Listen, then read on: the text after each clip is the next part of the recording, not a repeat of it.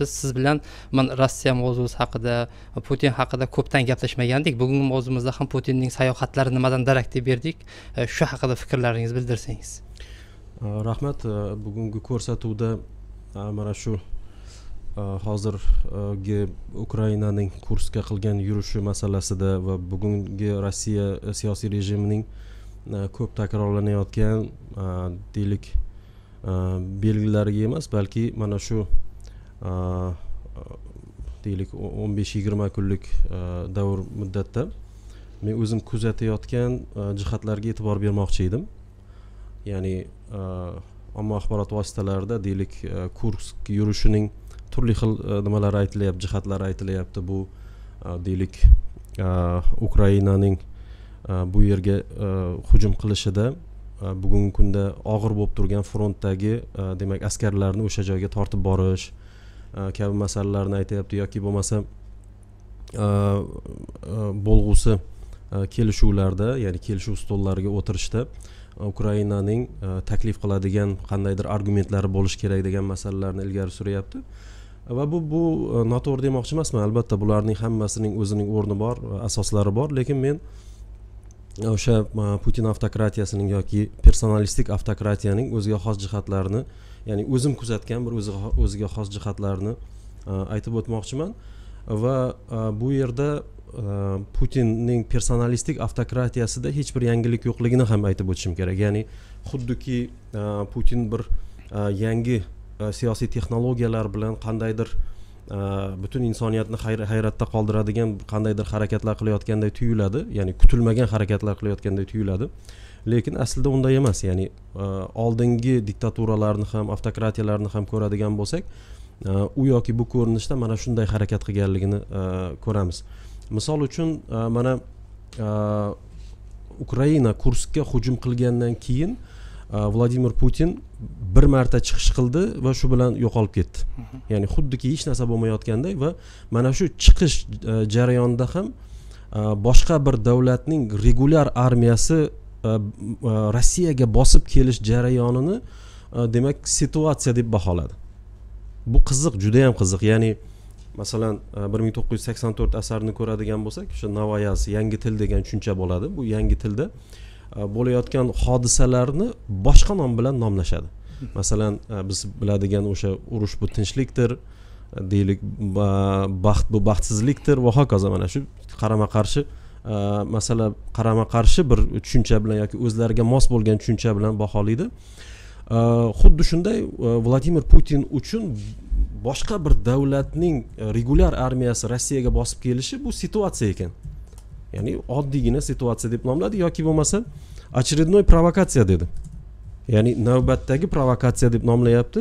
Ya'ni putin uchun bu go'yoki hech narsa emas. Albatta kreml uchun bu qandaydir deylik messej bo'lishi mumkin. Ya'ni propagandistlarga nisbatan siyosatchilarga nisbatan gubernatorlarga nisbatan. Lekin aholi rossiyaning aholisi va kerak bo'lsa butun dunyoning katta qismi markaziy osiyoning katta qismi bu narsani bukual qabul qiladi. Ya'ni haqiqiy mana shu ma'noda qabul qiladi. Va biz ko'ryapmizki hattoki o'zbek auditoriyasining ham juda yam katta qismi bu bostirib kirishning o'ta ayanchli ekanligini tushunib yetmayapti. Chunki putin mana shunday messej berdi. Bu hech narsa emas deb messej berdi. Va siyosiy elita buni tushunib turibdi. Aslida ahvol yomonligini. Lekin judayam katta massa buni putin aytganday aynan mana shu tarzda tushunyapti. Shuning uchun rossiya hududiga bostirib kirgan boshqa davlatning armiyasining nimasi ya'ni deylik ta'siri shu darajada past va insonlar e, shu darajada befarq.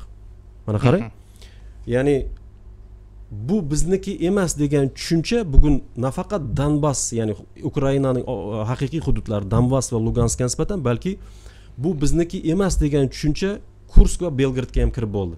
Ya'ni rossiyaning o'sha kursk va belgraddan bu yoqda yashaydigan aholisi uchun bu hududlar xuddiki oldindan besh olti yil burun yoki o'n o'n besh yil burundan bombardimon qilib kelayotgan va bu bombardimon qilish normal bo'lgan bir situatsiya sifatida ko'ryapti. Va bu haqiqiy bu haqiqiy fojia deb biza buni baholashimiz kerak nurbek aka. Haqiqiy fojia chunki putin o'zining novoyazi bilan ya'ni yangi tili bilan butun aholini kerak bo'lsa butun markaziy osiyo hududidagi mana e'tibor bersangiz turli xil kanallar bor. Hattoki menga shunday e, yozishganlar ham bo'ldiki putin ayyorlik qilyapti. Ya'ni putin ayyorlik qilayotgan emish o'zi qo'yib bergan emish uni. Shuncha ming kvadrat kilometrni bosib olish shunchalik ishontira olgan. Ishontira olgan va ishontirishning eng yomon tomoni shundaki bular chin ishonyapti shuni xuddiki bu qandaydir olamshumul geostrateg bor putin degan va bu mana shu strategiyani amalga oshiryapti. Lekin bu haqiqiy e, okkupatsiya ikkinchi jahon urushidan keyin rossiya hududiga hech bir davlat bunday kirib kelmagan.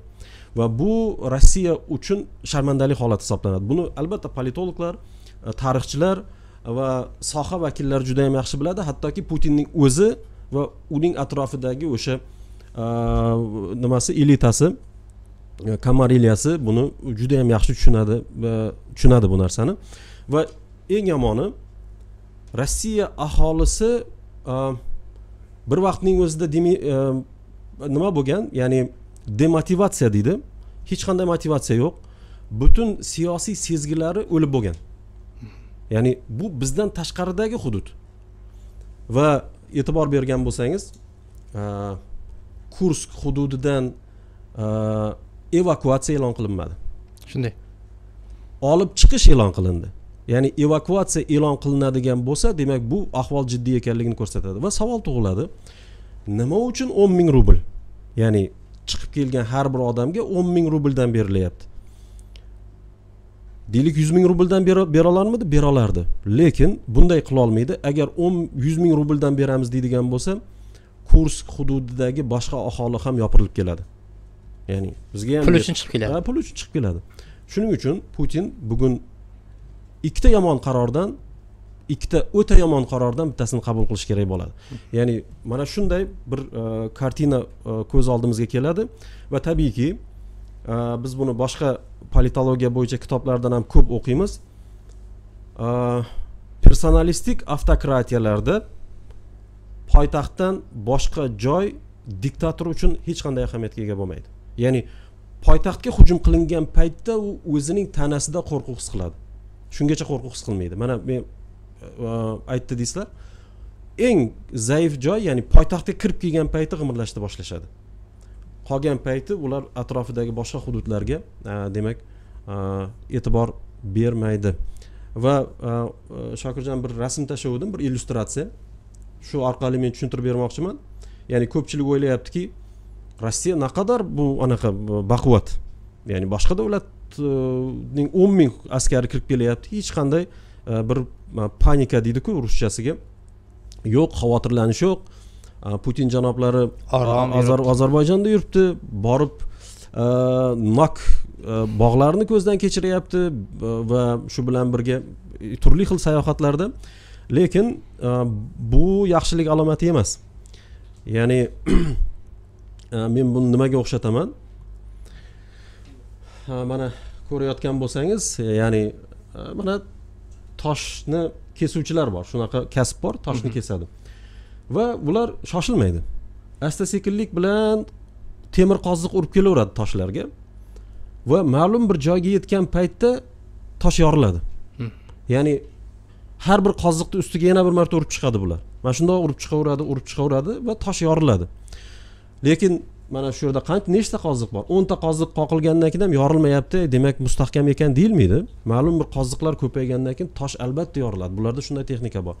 Shuning uchun putinning mazkur harakatlari shuni namoyon qiladiki putin hokimiyatga kelgan paytda eng birinchi e, o'sha teraktlardan biri bu beslan bo'ladigan bo'lsa e, undan keyin e, deylik ikkinchi chechen urushi nordost voqealari rizanskiy sahr sahr voqealari kroks voqeasi qrim anneksiyasi donbass va lugansk anneksiyalari mana shu aytayotgan har bir hodisa urush bilan bog'liq hodisa portlash bilan bog'liq hodisa terakt bilan bog'liq hodisa kroksni ham aytishimiz mumkin. Yoki bo'lmasa moskva kemasining cho'kishini ham aytishimiz mumkin. Bu har bitta qoziq nurbek. Mana shu qoqib ketilyapti. Bir kun tosh o'ylayaptiki hech narsa bo'lmaydi qarab turinglar mana shu qoziqlar oxir oqibat yorib yuboradi. Hech bo'lmaganda mana shu siyosiy rejimni yorib tashlaydi. Mana shu jarayon kechayapti hozir. Lekin ko'pchilik o'ylayaptiki chidaydi yo'q unday emas.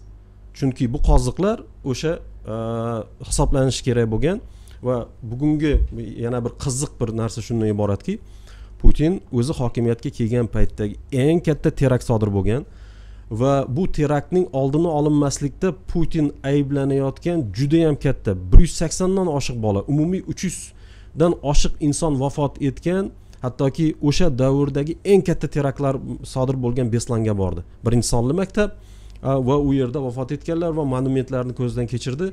Bu o'ziga xos bitta siklning tugashi nurbek. Ya'ni turli xil teraktlar turli xil urushlardan keyin putin o'zining mana shunday ayanchli bir faoliyatini